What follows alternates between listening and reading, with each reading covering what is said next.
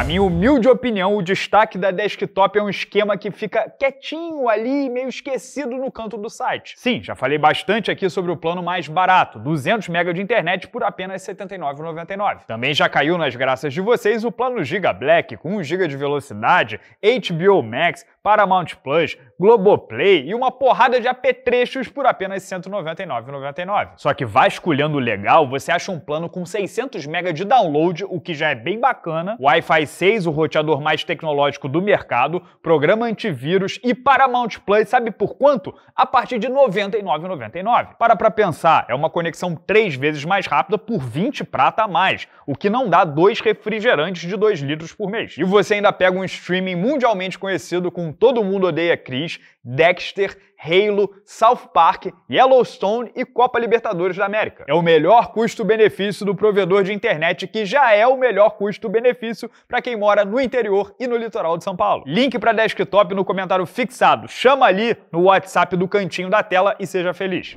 Lembram quando o Hansa entrou no UFC e atropelou vários atletas desconhecidos, absorvendo aí um, dois golpes por rodada? Qual era a pergunta que fazíamos aqui na época? Tá, mas como ele vai se comportar contra a competição de alto nível? Pois bem, de lá para cá o Lobo teve altos e baixos, muitos problemas de saúde, de ordem psicológica, so sofreu um pouco aqui, um pouco ali, mas o fato é que ontem, no UFC 308 de Abu Dhabi, ele destruiu o maxilar de Robert Whittaker e levou um único golpe no processo. E agora, a gente está falando sobre o terceiro melhor peso médio de todos os tempos, que foi campeão de wrestling na Austrália, é faixa preta de jiu-jitsu e não era finalizado no MMA há mais de uma década. E esse cara mal conseguiu tocar o Lobo, conectou um único chute baixo. Já não era segredo para ninguém que Hansa tem aí os primeiros 5, 7 minutos mais assustadores do esporte. Porque ele é grande, forte para a categoria, tem wrestling de nível mundial, treina desde que nasceu e não conserva, se recusa a conservar energia. É pedal no chão, tudo o que tem desde o primeiro segundo. Não importa se a luta é de 3 ou 5 rounds. Acho inclusive que ele é o único lutador de todo o UFC que faz isso corre esse risco, não tem qualquer hesitação ou estratégia. Então, de fato, fica muito difícil de lidar. Qualquer um que for enfrentá-lo tem que estar ciente que o objetivo no começo é só sobreviver. Sim, é possível sobreviver. Kamaru Usman e Gilbert Durinho são provas vivas. Mas a gente está falando de um campeão mundial de jiu-jitsu na faixa preta e medalhista do ADCC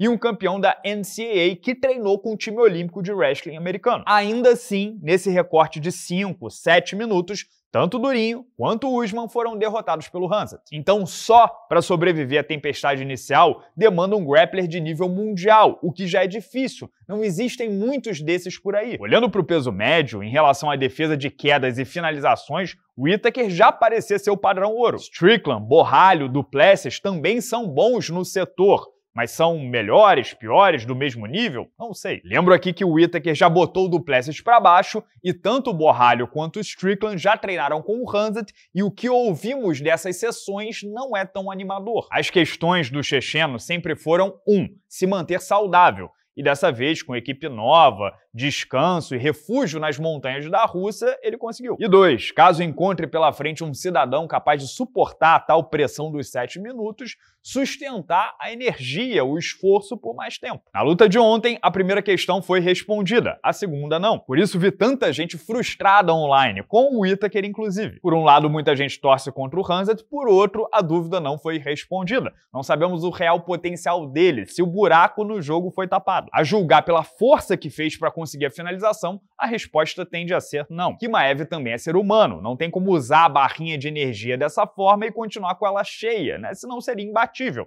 E nenhum de nós é. Com ele vai ser sempre assim, uma corrida maluca para uma direção no começo e outra corrida maluca no sentido oposto do meio para o fim. Só que volto a bater nessa tecla quantos atletas conseguem sobreviver a essa primeira corrida maluca. E se sobreviverem, eles também não estarão drenados com cai levanta, cai levanta para capitalizar do meio para o fim? E se Hanset, treinando na altitude com o cientista dos tempos de União Soviética, conseguir alongar um pouco mais esse sprint? Ao invés de ter aí 7, 8 minutos muito fortes, passar a ter 12, 13. Nesse caso, ele já embolsa 3 rounds e os sobreviventes só terão a opção de nocautear ou finalizar nos rounds de campeonato. E Hanset só tem 30 anos, de repente nem no auge físico e técnico chegou. Mas antes de falar sobre o futuro, vamos focar na finalização do Whittaker, porque o negócio foi feio. Para quem não viu a luta, foi o de sempre. Começou, o checheno já se jogou nas pernas, baixinho, rápido, no tornozelo e levou. E não me entendam errado, o Whittaker defendia de forma magistral, não parava em nenhuma posição, estava sempre incomodando. Tentava levantar, dava as costas, mas logo ficava de frente. Quando o Hanset assumiria a montada, voltava para as costas, tentava levantar, bagre ensaboado. Só que Hanset não é craque só em quedar, como por exemplo o Yoel Romero.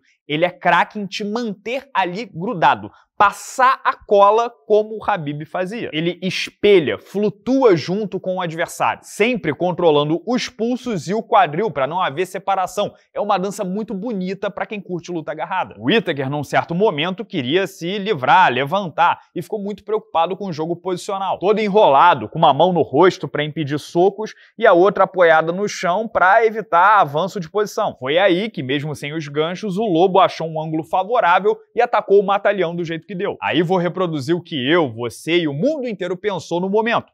Porra, o Itaker com toda essa experiência, essa resiliência, bateu desesperado com um segundo de pressão? A cana, a faca do braço não estava nem no pescoço. E qualquer um naquela situação, dada a importância da luta, toparia apagar, tentar até o fim para escapar. Luta em Abu Dhabi, festa pro Hanset, muito estranho para dizer o mínimo. Só que o braço do russo não entrou no pescoço, entrou justamente nesse espaço aqui entre o queixo e os dentes. E a pressão do arroxo foi tão grande aqui que quebrou ou deslocou a mandíbula do australiano. Pessoal, os três dentes da frente foram parar na língua, lá atrás. E não é que quebraram, soltaram, eles foram deslocados junto com a mandíbula. Como vocês podem ver nessa imagem photoshopada, sem sangue, pro algoritmo do YouTube não derrubar. Simples, Whittaker bateu ali no susto porque sentiu a estrutura do rosto ruir. Eu sempre lembro do Rafael dos Anjos dizendo que não só a pior lesão, como o pior momento de toda a carreira foi quando Clay Guida quebrou sua mandíbula. A recuperação é tão dolorosa, tão complicada, tem que juntar tudo com fio de aço, você não consegue comer nada, que o cara pensou em parar. Então não tem o que dizer, a desistência imediata está bem justificada. Sobre o próximo passo do Lobo, ele deixou bem claro em entrevista à ESPN que agora só luta pelo título, que se o UFC seguir em frente com o plano inicial de fazer Duplessis versus Strickland no começo de 2025, ele vai simplesmente esperar. Não vai fazer luta preliminar com a Adesanya nem nada do tipo. Ele quer ser campeão. E quando for campeão, vai imediatamente mirar no cinturão da categoria de cima,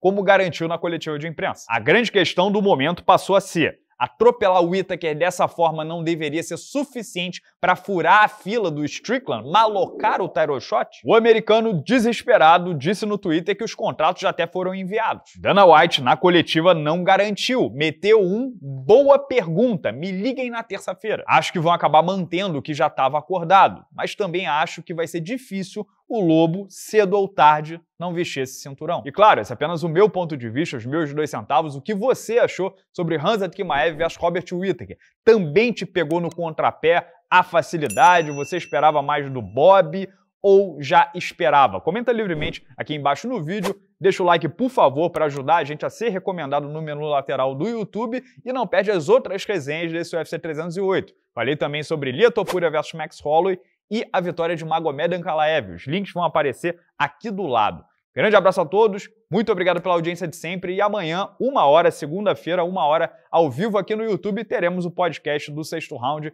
Eu, André Azevedo e Lucas Carrano revisaremos todo esse UFC 308. Esteja aqui com a gente. Até lá!